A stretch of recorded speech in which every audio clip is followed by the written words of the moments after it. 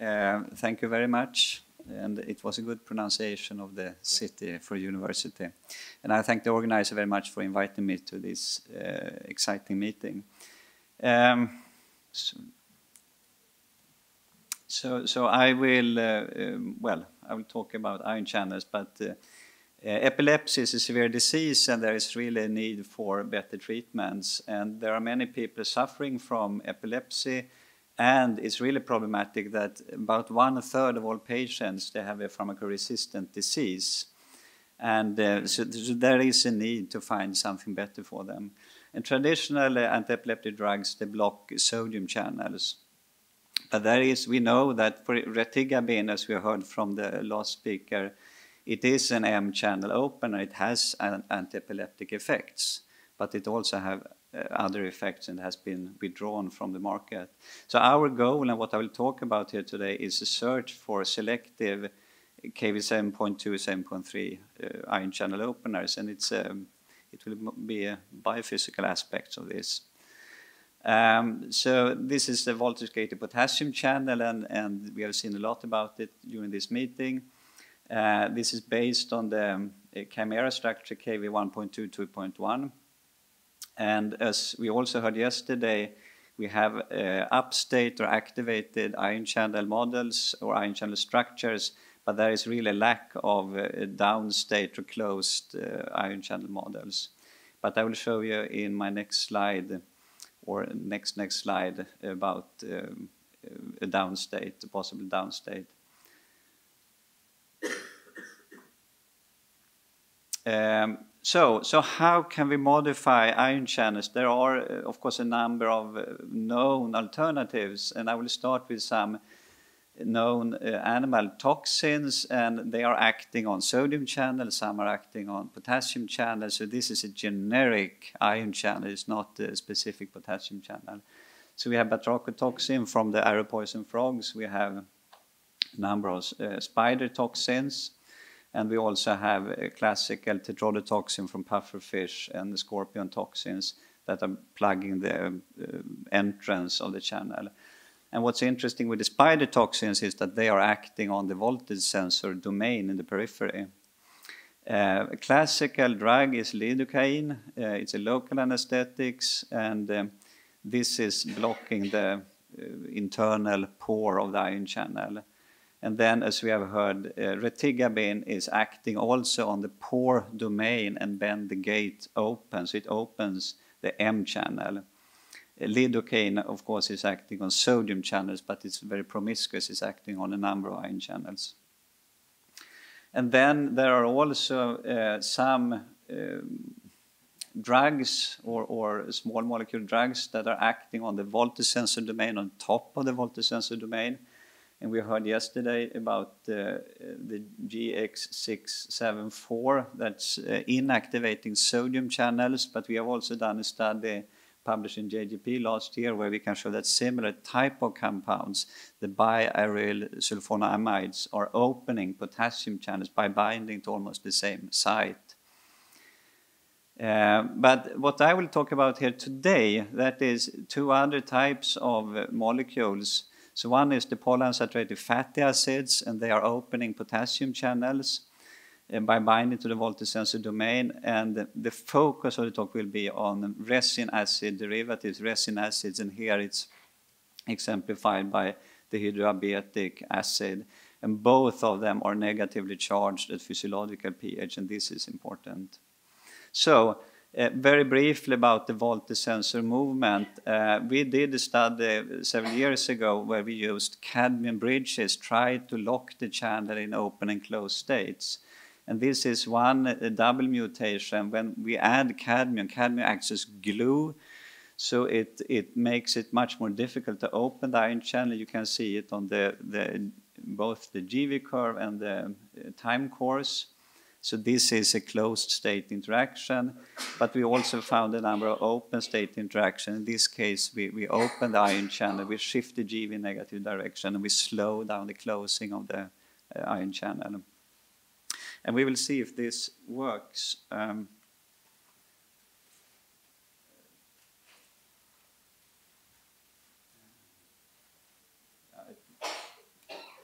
it starts here. So this is the voltage sensor domain, and it's now I.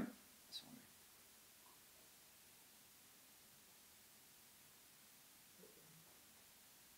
Aha, okay. So this is not. It's not working like this. So I can't. Ah, so if we go back to the, is it this trick? Yes. Okay. So I, I you, you saw the moment once. um, it's. Uh, so can I point here? yes, here. Um, so, so what you saw was that the, the S4, the red one, is moving a considerable distance, and in the down state, uh, all of these uh, blue uh, arginines they are down to this position or lower, and in upstate, all of them are above uh, the middle of the uh, membrane. And it's also it's a clear rotation of the voltage sensor uh, in the last step when we open the ion channel.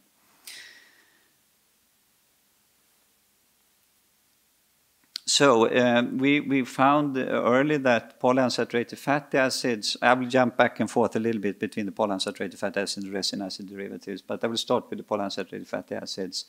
Uh, they open a voltage gated ion channel, and we started with a shaker potassium channel. It's a KV1 type uh, potassium channel, but that will continue then with the KV7.2, 7.3 ion channel. Um, and uh, so it opened it by shifting the, the voltage sensitivity in negative direction along the voltage axis. And here is a dose response curve of, of the M channel. So it's, it's fairly sensitive. So by applying just a few micromolar of this uh, polyunsaturated fatty acid, we open the ion channel. And, what is the mechanism? We came up with what we call the lipoelectric mechanism. So we proposed that, that uh, uh, the, the, fatty acids are inserted close to the voltage sensor domain ion channel, and when it's negatively charged, it attracts the positively charged voltage sensor. Uh, if we used uh, neutral compounds, nothing happened, and if we used uh, positively charged compounds, you pull down the, the voltage sensor and then you close the ion channel, and this is seen here, shifts in the GeV curve. And, and what's critical for this mechanism to be, be true is, of course, that the charge of the polyunsaturated fatty acid is important, and, and this is shown up here, but we'll show you some data. Uh, but also it's important the charge uh, of the voltage sensor. So if you modify the voltage sensor, we should modify the effect as well.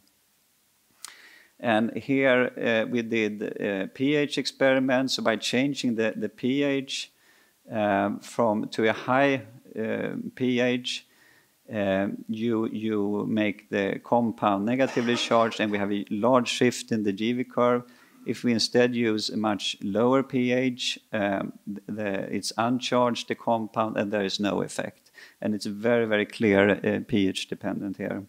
So definitely the charge of the compound is important. And secondly, we also mutated uh, the ion channel. So, so Nina, who is in the audience here and who has a uh, poster, uh, she modified or mutated the top of the voltage sensor S4 a lot. And this is the, the best solution. She added two arginines on top of S4, two extra arginines. And as you can see, there's an enormous increase in effect of polyunsaturated fatty acids. And this is caused by a very large shift of the uh, GeV curve.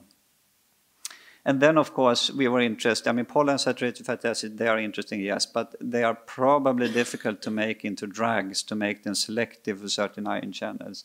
So we, we came across uh, these resin acids. They're coming from tree resin, and uh, they look like this. Uh, this is one type of them, a pimoric acid, and it has a carboxyl group, which is, which is important for the effect. And as you can see at, at pH 9, we have a quite large increase of the current and a clear shift of, uh, of the GeV current. This is in the wild type shaker channel. And then when we used our super channel, uh, 3R stands for three important arginines. You can see there is a massive increase in the ion current and a very, very large shift of the uh, GeV curve. Well, very large, everything is relative, but in my world, this is a very large shift. Um, and also in this case, we tried to, to uh, modify the, the charge, and uh, we have a very skilled chemist, so he made it into a carboxyl group, and here he made it into a positively charged group. And also, both these were, were uh, pH uh, dependent, so clearly the charge is, is important for our effects here. And so where are these compounds binding, both the polyunsaturated fatty acids and uh, uh, the resin acids? Uh, so we did uh, molecular docking and molecular dynamics, and here uh, in top we have uh, a polyunsaturated fatty acid. I think this is the docosahexaenoic acid, and it binds to the voltage sensor domain. I'm just showing the voltage sensor domain here. And as you can see, it's binding between segment 4 and segment 3 clearly in this cleft. And we did similar type of work for the resin acids, and as you see, we had almost exactly the same uh, position. And this is a side view. You can see it's really located down in the lipid bilayer, and the charge group is just close to the surface, but we think it's embedded in, in the lipid bilayer. And, and here I think we have some, uh, um, uh, well, I don't think, we, we have some data. Um, and we mutated this residue to either positively or negatively charged or this residue here. And the channel or the voltage sensor is really rotating during the very last step when you're opening the ion channel. And what we found was that, that depending on the side of S4, you got opposite effects if you had a positively or negatively charged uh, amino acid residue. So compare this one and this one. And this really supports again that this is an electrostatic mechanism and S4 is rotating during the last step. And, and this is one way to, to affect, uh, the, to open the ion channel. And um, um, so here is our chemist, Xiongye Wu, and he has made uh, around 200 compounds for us. And uh, what I just want to show here is that uh, by doing some very minor modification of the channel, you can increase the effect very much. And um, so by, by, changing this um, isopropyl group to a chloride, there is a massive change in, uh, in the opening of the ion channel and shift of the GV curve. Um, and then we also wanted to study the, the, to modify the charge in different ways. We know that, of course, if you have negative charge and positive charge, this affects uh, the action of it. But we also speculated maybe if we prolong the stalk here, you add atoms, so you put it further away from this anchor. Will you increase the effect or decrease it? And, and we made all these compounds. And what was really, really interesting was that we could increase the effect by, by having three atoms. But when we came beyond three atoms, the, the effect was gone. And, and uh, this can be explained by a, a quantitative electrostatic model. So if this is short, it will be attracted to, so this is our resin acid derivative, the charge will be attracted to the voltage sensor here. But when it's going beyond three atoms, suddenly it finds the position out in the water, then it's ineffective. Uh, and then, of course, if you know that we had good anchors and good effectors, couldn't we combine them? And this is ex exactly what, what Malin did here. So she made a combination of a very, very good anchor with a very good effect, and we got this molecule here.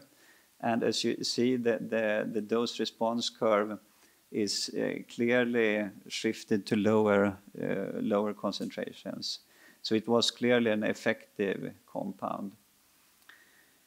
And then we, we, we also simultaneously did experiments on the KV7.2, 7.3 channel, the, the M channel. And what's the take-home message here is that we have very similar effects on the M channel as we had on our super uh, shaker potassium channel. And you can also see here that if we had a stalk of three atoms, we had a much, much larger effect than if it was just one, two, or five atoms. And, and uh, how about selectivity? We have just shown that these compounds are opening uh, the ion channels, but is it possible to make them selective or are they extremely promiscuous? And I will show you in two slides um, that it is possible to make them uh, selective. So here we have two compounds, and they're very, very similar. It's, I don't see, but it's, it's brom bromine, I think, up here, and it's a chloride down here. So, so we, we just shift this, we change the identity and we shift it, uh, and there is, both of them are quite uh, potent openers of the ion channel, and uh, we have a shift of the GV curve. There is also a slight increase in the amplitude of the GV curve, um, which we don't really understand, but it's probably increasing the open probability a little bit. But primarily, it's shifting the GV curve here by, by 40 or so millivolt. But this is the interesting. Now we tried it on 7.4, and this is the problem with retigabine. Retigabine is acting on 7.4, not only on the M channel. And uh, as you can see, that one of the compound, this one here, it has a huge effect on the Kevin 7.4 channel. But this other compound has almost no effect on, on the ion channel. So it is possible to make them uh, selective, the compounds, which was very encouraging. And in my, my very, very few last slides, I will show you some simple, simple epilepsy model. We used the zebrafish larvae epilepsy model. And it, it has been used um, in other labs and so on. But um, we, we pre-treatment, pre-treat it with uh, different compounds here, and then we immobilize it in uh, well, gel-like substance, and um, then we add uh, this compound, which is it's initiating uh, epilepsy, uh, and then we do a recording, of course. And, and uh, in, in this is a control recording here, there is no activity. These are extracellular recordings. And then when we add this PDZ, there is a huge increase in activity and it looks like this if we amplify it and we measure uh, the number, the frequency of these uh, bursts, and we also measure the length of these bursts. And then when we add one of our compounds, I'm not saying that this is the best one, but this is one of our the compounds, uh, it's basically gone, uh, this activity. It's, it's like the, the control recording we had in the beginning. And here we, I show data for, for four of our compounds, and uh, we start here with uh, the control DMSO. We add this PDZ, and there is an increase in frequency of these bursts, and there is an increase in duration of these bursts. Uh, carbamazepine, which is a sodium channel blocker, is not working in this model, but what's interesting is that retigabine has a very, very clear effect on this increase in frequency and duration. Also, valproic acid is uh, acting in this model. And as you can see, all our compounds tested here have uh, a, clear effect on, on this anti-seizure um, activity or, or this seizure activity. And it's uh, some of them act at 10 micromolar. In some cases, we have to use 30 micromolar. Uh, so to summarize, um, we have, I have shown here that the resin acid derivatives, they open uh, both KV 1.1 type channels and KV 7.2, 7.3 channels via an electrostatic mechanism on the S4. And it's possible to modify both the anchor and the effector, and this can increase uh, the effect. And also, which I think is, is uh, exciting, it's possible to get selectivity um, uh, between closely related ion channels. And, and lastly, I showed that they compounds they have some anti-seizure activity. And, and uh, people who has done this work is mainly uh, Nina, whoops, I, this was not, uh, this, this, is a nice figure, but I was not going to show it. Uh, so it's Nina and Malin, they are here, they have done most of the work. Um, and uh, um, we have been collaborating with people in Copenhagen, and here our chemist at Linköping University. So this is the wizard, Xiongyu Wu. He has done most of the compounds. Uh, we have some people doing the electrostatic calculations at Linköping University. Uh, modeling was done mainly by uh, Erik Lindahl and his group at Stockholm University. And we also started collaboration with uh, uh, which I think is very exciting. Okay, thank you. Thank you very much for perfect timing. Very nice presentation. Uh, questions? Did I see a hand going up? Oh, there. Sorry. Uh, how about the sensitivity of KCNQ1, uh, KCNE1 complex to these compounds? Yeah. Um, um, so um, some of them we have tested, not very many, but some of them are, are active. So they're clearly opening this uh, KV1 channel. And I think this was done together with KCNE1. I think, yes, yes because we have in, in, in, previous investigations shown that there is a huge effect if you have the K, KCNE1 with, with or without KCNE1. But so far we haven't explored all of them with respect to selectivity to KV7.1, no. Hi. G given that these compounds are charged by nature, do you think they're going to get into the CNS in higher species? Um, um, I, I, don't know, but uh, all of them are not permanently charged. Some of them have a carboxyl group, and I guess they can probably pass uh, blood-brain barrier in an uncharged form. I think so. Thanks. Can I ask a question? Um, in the resin, do the resin acids have an effect? Are they kind of killing the insects that try and? I, I, I don't know really, but I, I think they are doing uh, something. Probably it has been evolved to, to kill insects or so, but I, I have to study a little bit, yes. Thank you. Thank you very much. Thank you.